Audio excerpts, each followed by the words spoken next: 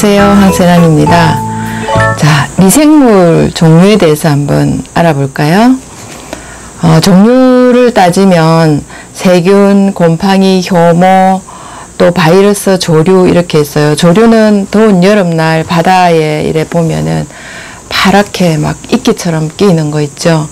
그런 것 때문에 피해를 많이 입기도 하는데 어, 그걸 이용해서 바이오매스 쓰는 경우도 있어요. 이번에 해볼 거는요. 발효미생물에 대해서 좀 공부를 해볼까 합니다. 발효미생물 세균, 효모, 곰팡이종 이렇게 세군 세 부류로 나누는데 세균에서 보면은 이제 유산균, 우리말로 저산균 그렇게 얘기를 합니다. 그리고 초산균, 그리고 비피더스, 바실러스, 클로스트리디움 요거는 이제 배 속에서 유해균으로 활동하기도 합니다. 그리고 코리네 박테리움 이렇게 있는데 얘네들이 전부 효소와 아미노산 등을 생산을 합니다. 어, 저산균 같은 경우에는 아미노산을 많이 이렇게 우리가 뭐 주, 주는 음식물지가 또 선택한 음식물 그런 걸 분해해서 아미노산화 시키죠. 된장 같은 경우에는 발효를 잘하면은 어, 아미노산화가 굉장히 잘 됩니다. 우리가 아미노산 하면 필수 아미노산, 비필수 아미노산이 있는데 어, 비필수는 인체 내에서 만들어져요. 근데 필수는 체 외에서 보급을 해줘야 되는 거죠. 근데 콩류에 많이 있습니다. 특히 대두에 많이 있거든요. 아미노산 화된 걸 많이 드시면은 또 우리가 이제 효소를 덜 쓰게 되고 효소에 대해서도 또 계속 이야기를 나눌까 합니다. 근데 지금 이 시간은 어, 미생물에 대해서 좀 해보죠. 그러니까 효모가 있어요. 어, Saccharomyces라고 있는데 그 얘네들은 알코올 만들고 제빵 할 때 사용을 해요. 어, 뭐 그냥 이스트라고 얘기를 많이 하기도 하는데요. 이거 말고 이제 칸디다라는 것도 있는데 얘는 자일리톨 이런 거 만들기도 하고요. 그리고 Torulopsis라는 거 있어요. 얘는 된장 간장균에 많이 분포되어 있기도 하고 이렇게 있습니다. 우리 된장이 달고 또 간장이 맛있고 하는 거에 Torulopsis가 어, 들어가 있습니다. 그리고 이제 곰팡이류 아시죠? 곰팡이류는 그 Aspergillus라고 있습니다. 누룩 곰팡이라고 얘기를 하는데요. 얘네들은 이제 장류 뭐 이렇게 유기산 이런 거 만들어내는데요. 아밀라제라든가 이런 거 아밀레이스라고 하기도 하고요.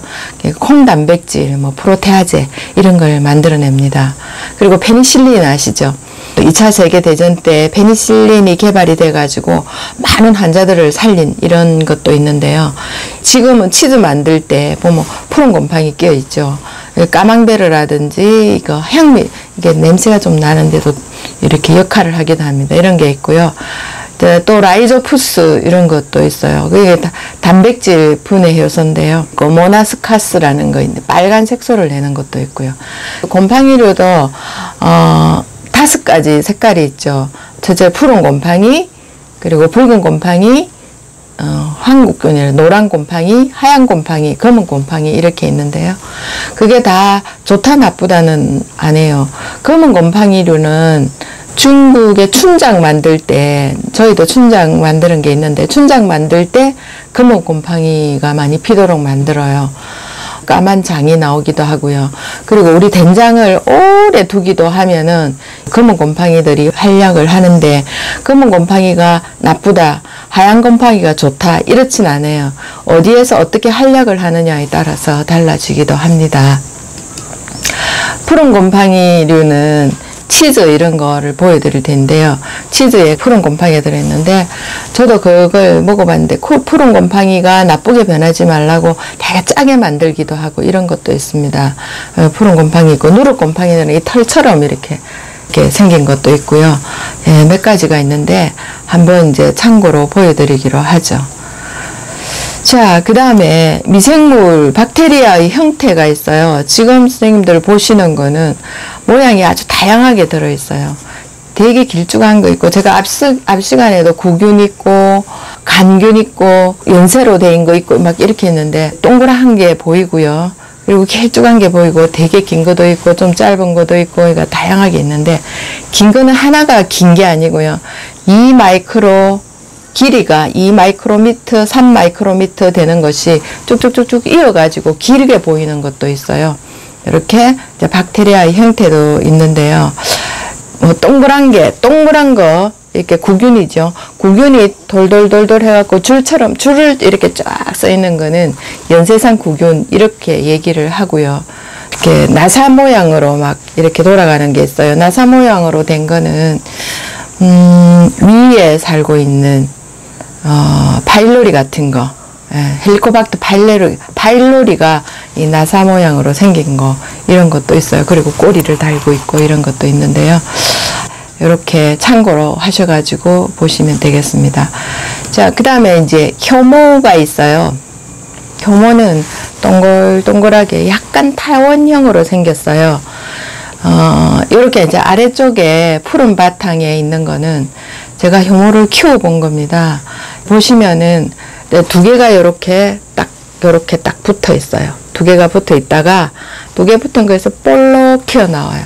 그러니까 튀어나온 딸세포를 놓는 과정이죠. 딸세포가 이렇게 볼록 나오면서 지금 선생님들 보시는 거는 제가 3시간 정도 유상태 현미경을 켜놓고 자라는 모습을 이렇게 중간중간 찍은 건데요. 3시간을 켜놓을 수는, 그, 영상을 돌릴 수는 없어가지고 부분 부분 사진을 찍은 겁니다.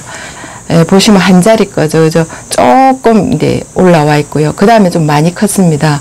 이게 확 자라면은 어, 성체 모체하고 크기가 같아지면은 네 개의 네 개로 돼 있던 것이 두 개 두 개로 딱 잘라지면서 또 그, 그런 모양으로 굉장히 많이 자라요.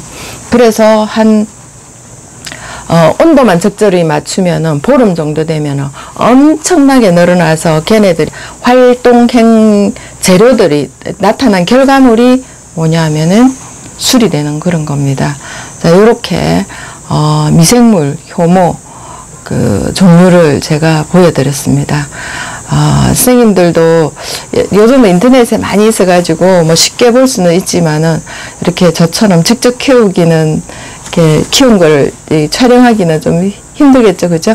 근데 제가 키운 것이 곧 여러분들이 키워서 보는 것이라 생각하시고 참고하시면 되겠습니다.